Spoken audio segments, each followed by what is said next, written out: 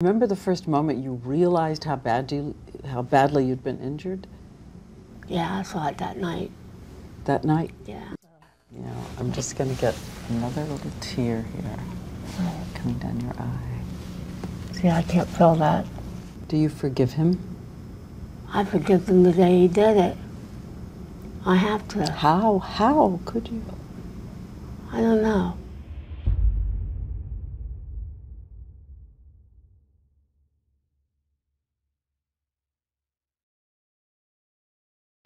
Hello，大家好，我是鬼灵异。二零零八年夏秋，康妮正和自己的孪生姐姐一起用午餐，她的状况看上去很不错。康妮还点了自己最喜欢的炸薯条配法式蘸酱。忽然，姐姐凑近说：“康妮，你的鼻子歪了。”康妮并没有感觉惊讶，反倒是很自然的用纸巾擦了擦手，然后在自己的脸上捣鼓了两下。很快，她的整个鼻子都被扭了下来。她笑着告诉姐姐：“现在好了，没有鼻子也就不歪了。”两个人在用完午餐后，准备走出饭店。姐姐在前，她打开了背包，翻找汽车钥匙。康妮跟在她的身后。不过意外再次发生，她一头撞在了店家的玻璃门上。店员很着急的上前关心，康妮则自嘲道：“没事没事，你看，还好我把我的假鼻子放进了钱包，要不然这回他又该受伤了。”店员听后扑哧一声笑了出来，这就是康妮，一位非常乐观的女性。虽然康妮的脸并不完整，第一次见到她的人都会有些恐惧。不过一旦接触的时间久了，大家又会觉得她是一位温柔风趣的女性。By her joy. What a great day it is. Yeah. 康妮的包里一直放着一张毁容前的驾照，她会经常跟大家说自己年轻时很漂亮。当大家都好奇于她的后来呢，康妮也会很大方的分享，哪怕那一段经历是恐怖的。一九六三年三月，康妮出生在美国俄亥俄州一户有五个孩子的大家庭中。她从小体型偏壮，又因为有两颗向外爬的大门牙，经常会被同龄人取笑和排挤。大家给她取了一个绰号叫海狸，可康妮却很乐观，换了一种思维去理解，胖嘟嘟的样貌很可爱。而为了减少别人对自己的嘲讽，康妮很快就学会了先发制人。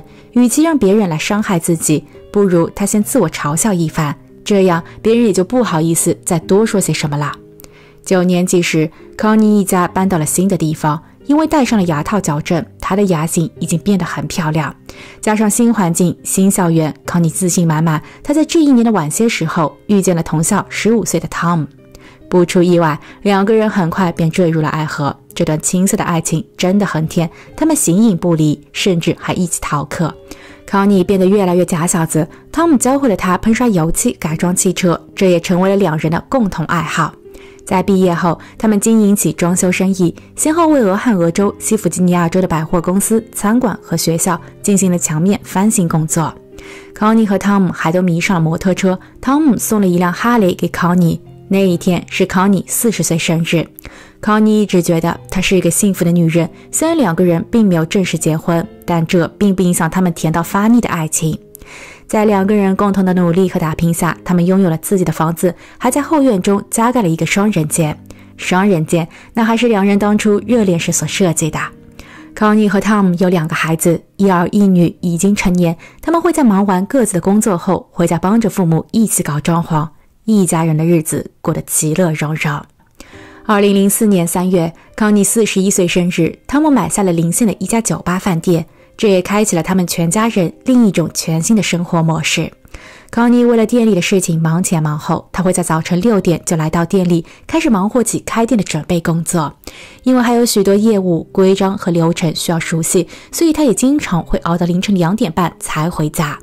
勤恳的他从不抱怨，他用他自己的话来说，这就是他想要的人生。充实有挑战，不拘于过去，而且汤姆他一直都陪伴左右。但不久后，两声巨响，康妮和汤姆先后倒地，他们一家人的命运也因此彻底改变。康妮始终都不敢相信，作案人竟会是他。二零零四年九月二十三日，当昏迷了三天的康妮苏醒时，她感到自己的视力变得模糊。呼吸时似乎也不是从鼻子这儿进气的，他无法开口说话。不过好像这嘴巴还在嘛。他有一些断片，不知道自己是怎么进的医院。他的汤姆呢？汤姆在哪里？话说，在三天前，康妮正在自家的餐馆工作。晚上，他和一位老顾客聊了会儿天，就被汤姆瞧见。当时的汤姆并没有说些什么，但就在康妮招待完客人，准备关店时，意外发生了。当康妮拉下卷帘门，转身示意站在身后大约一米开外的汤姆回家休息时，一声巨响传来。康妮只是觉得脸上火辣辣的，她倒退了两步，仰天倒地。在仅存的一点意识中，她听见了第二声巨响，然后从余光里瞄到了汤姆以及汤姆手中的工具。清醒康妮还能苏醒，但躺在床上的他无法理解为何汤姆会做出如此的举动。两个人二十余年的感情又为何如此的不堪一击？而汤姆的第二枪对准了谁？医生说，幸好汤姆的手法不精准。康妮在失去了右眼、鼻子以及眼睑至下唇之间的所有后，还能保住一条命。医生已经在康妮的颈部开了一个小孔，康妮的呼吸需要通过这儿。康妮需要适应。当康妮听见自己的女儿声音，女儿说：“妈妈，我们都在，一切都会好的。”康妮想要回应，但却做不到。而由于子弹伤及到了他的神经末梢，他其实浑然不知自己已经怆然泪下。事件发生两周后，探员在医院会见了康妮，他们带来了康妮想要的信息。原来在那一天，汤姆动手后选择引弹轻生，但没有成功。他被救了下来，只是因此掉了几颗牙齿，左眼的视力也受到了一些影响罢了。汤姆现在在牢房，情绪相对稳定。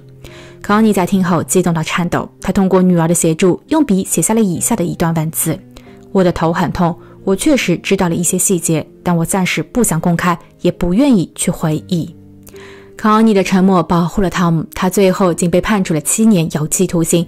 康妮在事后表示，他想要去探监，但这引起了全家人一致反对。汤姆的自私行为其实已经毁掉了整个家，而康妮在接下去需要面对的，更是常人难以想象的换脸整形手术。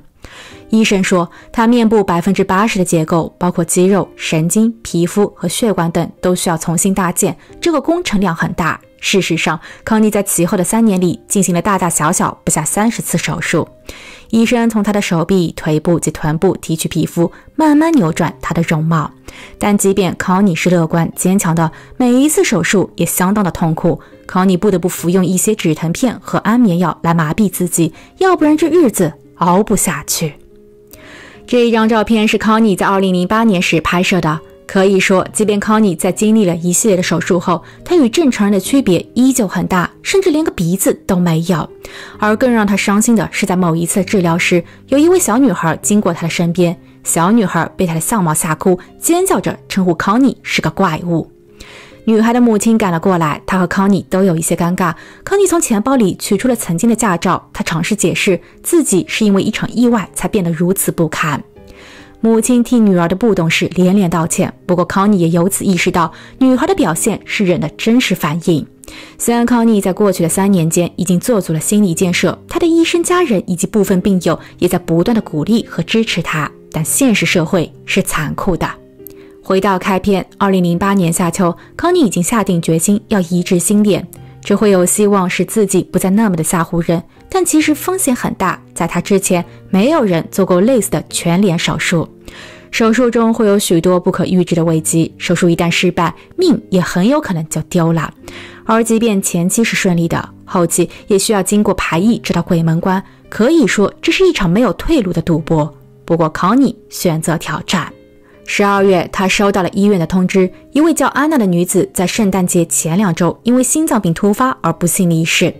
安娜曾经签署过器官捐赠协议，安娜的家属也已经同意将她的面容和鼻子都赠予康妮。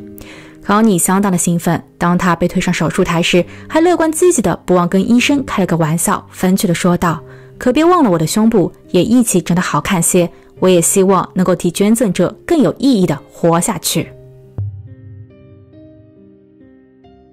二零零八年十二月十日，八名外科医生、四名麻醉师、二十多名护士以及一大群技术人员和助理围在了康妮的手术台边。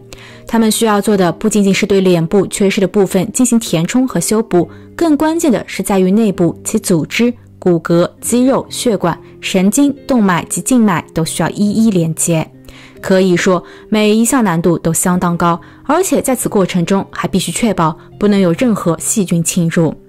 在大家共同努力了足足二十三个小时后，Connie 被推出了手术室。他在接下去的十二天里睡在了重症监护室中，熬过了两次排异反应。他还为了新脸、新肌肉重新练习说话，并尝试唤醒在大脑中已经封存了四年的嗅觉记忆。换脸五十八天后，Connie 出院。六个月后，他再一次回到医院，除去了一些多余的皮肤，同时还处理了一下他面部的红肿、排异和感染等问题。面对医生的康妮又一次幽默地自嘲道：“你可知道，这一回我出名了，甚至在德国、法国、以色列、伊朗、新加坡和索马里的报纸上都能够找到我的名字和换脸故事。但我庆幸，我现在只有左眼能够分辨一些模糊的颜色和阴影，除此之外，我什么都看不见。所以在面对媒体和记者时，不会因为慌张害怕而直冒冷汗。”康妮在慢慢恢复后站上了讲台发表演讲。她首次承认了自己的婚姻问题。虽然两个人之间存在爱情，但汤姆的嫉妒心很强，他容不得别的男人与康妮有过多的交集，甚至还会觉得别人对康妮都有非分之想。在两个人一起经营餐厅的这一段时间，其实相当困难，餐厅的生意数月来入不敷出，他们也由此陷入了财务危机。而这一种危机更是加重了他与汤姆之间的矛盾。汤姆伴随着很剧烈的情绪波动，会时常失控，用一些不堪入耳的言语骂得康妮感到绝望。康妮一次又一次地原谅了这个男人，他依旧坚信男人是爱自己的，就像他们十几岁时坠入爱河一样。一旦经济问题给解决了，一切又都会好起来。所以他更卖力的工作，可情况并未好转。相反，整个事态在不断升级。汤姆进而动起了手来。直到最后的案发时，其实康妮有记得，当时汤姆在破口大骂的同时，把枪口对准了自己。康妮说，他之所以能够坚持到现在，就是想让更多的人知道，一定要警惕身边伴侣对你的行为。如果说他会伤害你，他真的这么做了，那么情况绝不会好转。康妮不否认，直到现在，她依旧爱着这个男人，但也最终在2009年5月接纳了女儿的建议，搬出与汤姆共同购置的房子，同女儿一起居住。因为爱过，康妮选择原谅，但往后的余生里，康妮表示，她应该更爱自己，珍惜能活着的每一天。演讲的最后，康妮感谢了那些曾经给予过她帮助的人，包括医生、护士、律师、探员以及自己的家人。而更重要的是安娜，她是一位无私的捐献者，她的行为挽救了自己。康妮也鼓励更多的人能够在离世后，让自己的生命以另一种方式延续。后期，康妮和捐赠者安娜的家人见了面，安娜的女儿紧紧抱住了她，因为她看见了妈妈的鼻子，妈妈的样貌，似乎妈妈又活了过来。康妮笑言：“可不是嘛，他和安娜都非常珍惜现有的一切，还在尝试各种新鲜事物。摆在他床头的是最新款的智能闹钟，可以提醒他按时吃药。衣帽间里有一个电子衣架，能够帮助康妮寻找和搭配合适的衣服。康妮想要尽可能的独立，他还养了一只经过了培训的小狗，这可以让他单人出行。康妮爱上了跑步机，每一天都在坚持训练。”他甚至还和一名整形外科的医生打赌，称自己能够在俯卧撑的比赛中胜过他。有一位护士向他发出了挑战，说是要打台球。康妮欣然接受。他甚至表示自己在未来还想玩玩飞镖和排球。在接受媒体的采访时，康妮说：“新面孔正在发挥它的作用，自己已经能够闻到食物以及他四岁孙子送来的鲜花花香。可以说，乐观的心态已经让他找回了过去。”只是移植变脸术其实还有很大的副作用。为了压制炎症和排异反应，康妮不得不服用大量的抗生素，这对于她本身的免疫系统存在伤害。时间久了便会引发病变。二零二零年七月二十九日，五十七岁的康妮因为非面部的其他感染并发症而离世，但她依旧是迄今为止整容移植术中存活时间最久的人。她曾经的爱人汤姆在二零一一年十月十九日出狱。出狱后，他没有了任何音讯，也从未与康妮再见面。二零二零年时，有一则小道消息说，Tom 也去世了。其实，本片中所讲述的家庭关系，我在以往的视频中已经说过了好几回。如果遇到了类似的伴侣，一定要及时抽身。但此案又不由得让我联想到了另一个议题，那就是你自己，或者说你会建议和鼓励身边的亲人和朋友成为类似于本案中那位捐赠者安娜吗？你对于捐赠这一行为是如何看待的呢？欢迎大家留言讨论，我们评论区见。好了，今天的故事就分享到这，下期见。